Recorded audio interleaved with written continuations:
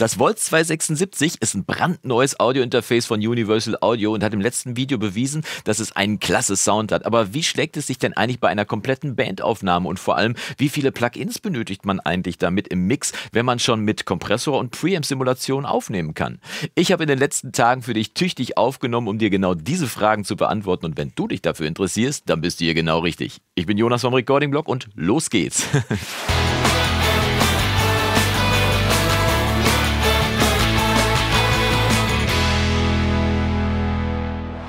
Tag und schön, dass du wieder eingeschaltet hast zu einem weiteren Video im Recording Blog. Und falls du hier neu sein solltest, ich bin Jonas vom Recording Blog und ich verrate dir hier in über 400 Videos, wie du deine Musik einfach und schnell besser klingen lassen kannst, damit sie aus deinem Tonstudio zu Hause bald genauso gut klingt wie die Profimucke vom Studio um die Ecke. Und äh, wenn du in Zukunft kein Video mehr wie dieses verpassen möchtest, dann klick doch am besten jetzt direkt auf den Abo-Knopf und am besten auch direkt noch auf die Benachrichtigungsglocke daneben. Dann kriegst du nämlich immer ganz garantiert einen Hinweis, wann das nächste Video rauskommt. Danke auf jeden Fall schon mal an dieser Stelle für deine Unterstützung, denn das bedeutet mir wirklich viel. Das darf ich dir mal verraten. Im letzten Video habe ich dir ja das Volt 276 von Universal Audio vorgestellt und falls du das verpasst haben solltest, kann ich dir gerne mal hier oben einen Link einblenden. Äh, aber in dem Video habe ich dir angedroht, dass ich diese Woche damit eine ganze Band aufnehmen werde und auch wenn es nur zu einer One-Man-Band gereicht hat, also um genau zu sein zu äh, mir, ist dabei doch was ziemlich Cooles rausgekommen, wie ich finde. Okay, ich hatte E-Gitarre versprochen, ich hatte MIDI-Keyboard versprochen, die haben es jetzt leider nicht mehr in den Song reingeschafft. Das müssen wir einfach mal verschieben auf ein anderes Video, aber das hat der Song einfach nicht hergegeben. Es handelt sich nämlich um einen Song von Kiss, den die wiederum bei den Rolling Stones abgekupfert haben. Und äh, wenn jetzt sowohl Kiss als auch die Rolling Stones nicht direkt auf deinem Wunschprogramm stehen sollten, äh, dann bleib trotzdem kurz dran und lass dich einfach mal überraschen, denn es ist zumindest ein Unplugged-Song. Das darf ich schon mal verraten. Und außerdem bleibt sehr spannend, denn am Ende verrate ich dir ja in der Session, wie viele Plugins ich tatsächlich genutzt habe, um den Song zu mischen. Aber erstmal zeige ich dir jetzt, wie ich die Aufnahme gemacht habe. Als Pilot habe ich erstmal Gesang und Gitarre zusammen aufgenommen ja, Singer-Songwriter-mäßig. Dazu habe ich meine treue Martin D16H genommen und habe sie äh, am Interface dann mit dem AT4050 von Audiotechnica aufgenommen. Zusätzlich dazu noch das SM7 für meine Stimme oben drüber, damit ich beides gleichzeitig machen konnte. Und bei der Einstellung vom Volt 276 war dabei dann für das SM7 das äh, VOG-Preset hier oben am Kompressor eingestellt und der Vintage-Sound vom 610er Preamp war auch aktiviert. Der war dann auch für die, für die Gitarre, für die Akustikgitarre aktiviert und da habe ich dann beim Kompressor aber das passendere Gitarren-Preset gewählt, weil das ist ja nun mal, das heißt ja nun mal Gitarre, ne? dann kann man ja auch einstellen. Als nächstes ging es dann ans Schlagzeug. Dazu habe ich das Volt 276 dann einfach mal mit einer USB-Verlängerung an mein Schlagzeug da drüben rüber gekarrt und habe dann da die Mikrofone dann wieder angeschlossen und zwar die gleichen Mikrofone wie gerade auch. Das SM7 stand aber dieses Mal dann direkt mitten im Schlagzeug fast schon, direkt an der Snare und dann hat er so, hat dann so gleichzeitig auch die Becken mit aufgenommen. Äh, leider Mono, ist ja klar, ist ja nur ein Mikrofon, aber immerhin war das Wichtigste drauf. Und das AT4050 stand dann in der Bassjump. Die ist bei mir offen, wie du sehen kannst, und äh, nur ein ganz kleines bisschen mit Decken gedämpft. Aber ich fand das ganz cool. Kommen wir als nächstes zum Bass. Weil wir hier einen Unplugged-Song haben, sollte mein alter Höfner Violinbass mal wieder zum Einsatz kommen. Und der Einfachheit halber habe ich den dann einfach mit einem Kabel direkt ins Interface reingesteckt. Und der Kompressor stand auf dem Fast-Setting. Bei Bass fand ich das ganz äh, passend. Und den Vintage-Sound habe ich äh, dabei ausgelassen, weil es nämlich schön mumpfig klingen sollte. Und dann einfach Bass um und ab dafür. Eigentlich hatte ich ja gedacht, dass ich die Pilotspuren vom Anfang dann auch im finalen Song nutzen kann, aber irgendwie fand ich dann, dass die Performance an der Gitarre und auch beim Gesang nicht so gelungen war. Die Gitarre war nicht so gut, wie ich es spielen kann, also ich kann eigentlich besser spielen und der Gesang war eigentlich auch nicht so gut, wie ich es eigentlich kann. Das liegt wahrscheinlich daran, dass man, wenn man beides gleichzeitig macht, dass man sich einfach nicht zweiteilen kann. Man muss sich auf eins von beiden konzentrieren. Es gibt Leute, die das können, ich kann das leider nicht. Also musste ich Gesang und Gitarre nochmal einzeln aufnehmen, aber hat ja auch Spaß gemacht. Als erstes kamen dann die Gitarren dran, von denen ich dann insgesamt sogar vier Varianten aufgenommen habe. Zwei für die Mitte, die ich mit den gleichen Akkorden aufgenommen habe wie im Pilot und zwei für die links und rechts außen, also zwei für links und rechts außen, für die Außen, so nennt man das, glaube ich. Wobei ich dann bei den beiden Aufnahmen dann nochmal unterschiedlich gespielt habe, nämlich einmal mit einem Barré-Griff und auf der anderen Seite dann einmal mit einem Capodaster, was dann nochmal so leicht unterschiedlich klingt und dann so ein bisschen nochmal für ein bisschen mehr Breite sorgen kann, wenn ich die dann nach links und rechts außen panne. Aber das gleiche in der Session.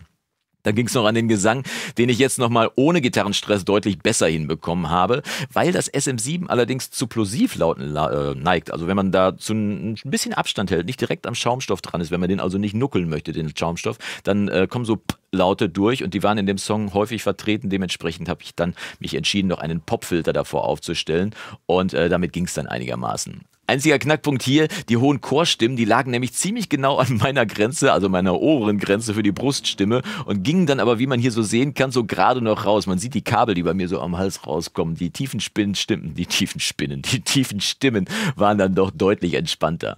Im Prinzip war ich dann fertig, allerdings habe ich dann beim ersten Faderschubsen in der Session festgestellt, dass der Basssound, den ich mir vom Violinbass versprochen habe, dann doch nicht so reinpassen wollte. Also habe ich dann getreu dem Motto, nimm's ordentlich auf, da musst du es später nicht reparieren, einfach einfach den Fender Precision von der Wand geangelt und damit den Bass dann auch einfach nochmal neu eingespielt. Und was soll ich sagen? Jetzt äh, passt es. Ah, jetzt haben wir es hingekriegt. Was dabei rausgekommen ist, das hören wir uns am besten jetzt mal kurz an. Den ganzen Song kannst du dir dann bei Soundcloud in meinem Soundcloud-Account anhören. Link dazu unten in der Videobeschreibung. Und wenn du der Meinung bist, dass ich den ganzen Song auch mal als Musikvideo hier hochladen sollte, dann schreib doch einfach mal Musikvideo Volt unten in die Kommentare. Bin mal gespannt, wie viel da zusammenkommt. Achso, und falls dir dieses Video jetzt schon gefallen sollte, dann zeig es mir am besten über Daumen nach oben. Und wenn es dir nicht gefallen sollte, drück einfach zweimal auf Daumen nach unten und hier auf das nächste Video. Dann passt das nämlich auch da. Wir gehen jetzt mal rein, hören uns jetzt mal an, wie der Song spielt und anschließend verrate ich dir dann in der Session, wie viele Plugins ich tatsächlich dabei benutzt habe beim Abmischen des Songs. Aber jetzt erstmal viel Spaß. Don't you know I'm a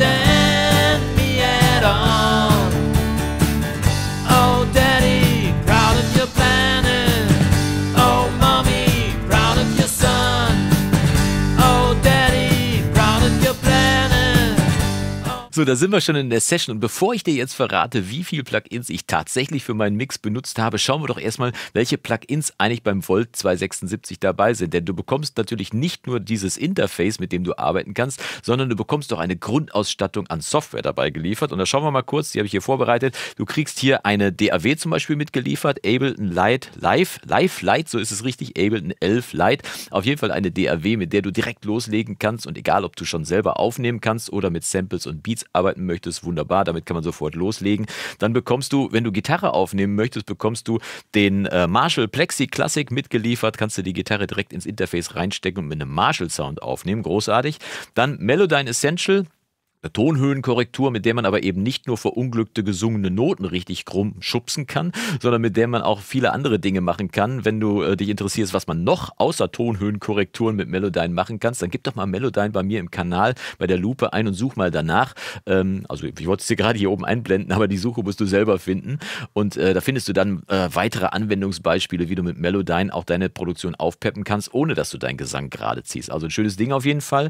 Dann äh, das LX480 Essential Essentials von Relab, eine Nachbildung eines Lexikon-Halls. Also allein dafür lohnt sich schon fast, denn so ein Lexikon-Hall ist ja nicht nur weltberühmt, weil die teure Geräte herstellen, sondern weil es einfach einen super Klang hat. Dieses Hallgerät, das LX480 äh, von, oder das L480 heißt es, glaube ich, richtig, von äh, Lexikon. Und hier äh, in der Essentials-Version kriegst du auf jeden Fall vier verschiedene Hallräume dabei, mit denen man auf jeden Fall auf Oberklasseniveau schon mal arbeiten kann. Dann noch eine Amp-Simulation für einen Bassverstärker. Auch großartig, wenn du den Ampeg-Sound liebst, aber keinen eigenen Ampeg-Verstärker hast. Einfach Bass ins Interface reinstecken. Dann das Ampeg äh, SVT VR Classic Bass Bundle. Jetzt habe ich es aber auch wirklich reinladen und ab dafür. Dann gibt es noch äh, zwei Geräte, die selber spielen. Und zwar einmal der Virtual Drummer und einmal der Virtual Bassist. Solltest du also nicht in der Lage sein, selber Bass zu spielen oder Schlagzeug zu spielen, kein Problem. Diese beiden Plugins helfen dir dabei, auf jeden Fall auch da einen coolen Sound hinzukriegen, ohne dass du jetzt direkt den Drummer von nebenan anrufen muss. Mit anderen Worten, eine Grundausstattung, mit der man direkt loslegen kann. Das Labs von äh, Spitfire Audio möchte ich nicht unterschlagen. Da gibt es noch eine Auswahl von verschiedensten Instrumenten mitgeliefert. Also auf jeden Fall Unmengen an Material, mit denen du rumspielen kannst und mit denen du auch rumtüfteln kannst und deine eigenen Ideen von Musik umsetzen kannst. Aber jetzt wird es spannend. Wir zählen jetzt mal, wie viele Plugins ich tatsächlich hier in der Session genutzt habe. Und dazu mache ich mal den Mixer auf und mache dir auch extra einen, einen Zoom, damit du auch sehen kannst, wie viel es tatsächlich ist. Schauen wir mal im Zoom, wie viel es tatsächlich ist. Also hier im Zoom siehst du hier oben, wäre jetzt ein Plugin, wenn ich es benutzen würde. Und ich gehe mal durch. Du kannst ja mal mitzählen. Hier ist nirgendwo eins, nur Panorama und Lautstärke bisher. Okay, wir gehen weiter. Wir sind schon bei den Akustikgitarren, nicht ein einziges Plugin. Ich freue mich, es macht nämlich richtig Spaß. Auch beim Bass nix. Schlagzeug. Hier bei der Snare ist jetzt ein Equalizer. Bei der Snare ist ein Equalizer, mit dem ich zum einen hier, kann ich mal kurz aufmachen, mit dem ich zum einen hier die Bassjump unten ein bisschen rausgefiltert habe, die das Mikrofon äh, aufgefangen hat und mit der ich ein bisschen hier bei 2, 3 Kilohertz angehoben, bei 3 Kilohertz angehoben habe, damit die Snare noch ein bisschen präsenter ist und ein bisschen besser rauskommt. Also ein Plugin. Gucken wir mal weiter, wie es weitergeht. Hm. Oh, warte mal. Schlagzeug. Da sind noch zwei. Hier, die LX480, zwei Hallgeräte habe ich noch reingeladen. Und hier auf den Hauptbussen nichts drauf.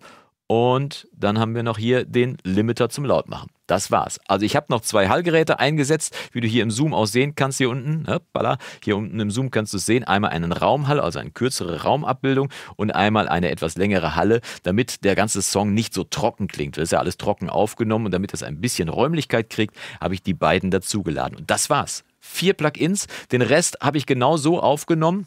Das kannst du natürlich auch bei dir zu Hause genauso aufnehmen. Also einfach Instrument reinstecken, dann äh, die Vintage-Wahl äh, treffen, ob du den Preamp drin haben willst oder die Preamp-Simulation haben willst oder nicht. Und den Kompressor auswählen, ob du mit oder ohne Kompressor aufnimmst, bleibt dir auch selbst überlassen. Aber wir schauen jetzt nochmal und ich spiele dir mal einzelne Signale nochmal eben vor und blende dir auch mal ein, welche Einstellung ich dann beim 276 ge gewählt habe, also welchen Kompressor und ob der Vintage-Amp an war. Und wir hören einfach mal eine Stimme, wir hören eine Gitarre repräsentativ, einen Bass und die Schlagzeugspuren und gucken mal kurz, währenddessen schalte ich auf Solo. Wir hören mal kurz, wie es klingt. Ne? Warte mal, ich mache mal kurz den Hall noch aus für die Geschichte, damit du es auch wirklich trocken hörst. So. You know my wife still respects me, even though I really miss Stimme. Her. I am having an affair with a random computer. Gitarre. And don't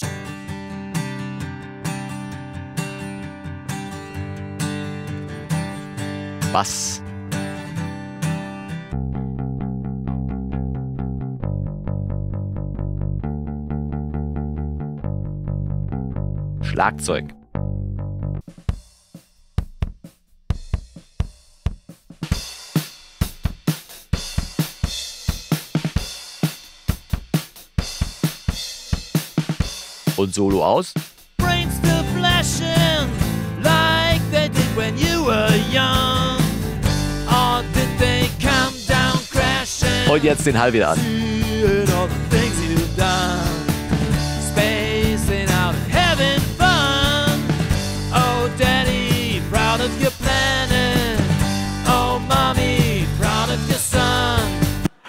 Also ich hoffe, du konntest sehen, dass man mit den 276 schon wirklich tolle Aufnahmen machen kann und dass die Grundausstattung an Plugins, auch wenn ich hier wirklich nur ein Plugin davon benutzt habe, äh, durchaus ausreichend ist, um wirklich coole Aufnahmen zu machen, um deine Musik zu verwirklichen. Jetzt habe ich aber wirklich genug Werbung gemacht, auch wenn hier oben Werbung dran steht. Aber ich hoffe, dass klar geworden ist, was du mit dem 276 alles machen kannst. Jetzt viel Spaß bei der Entscheidung, ob du es kaufst oder nicht. Ich glaube, ich werde es mir mal zulegen und dann schauen wir mal, was passiert, ob es dazu noch das eine oder andere Video gibt. Wir sehen uns die Tage wieder in einem weiteren Video hier im Recording Blog. Und bis dahin wünsche ich dir vom Guten nur das Beste. Mach's gut und Yassou!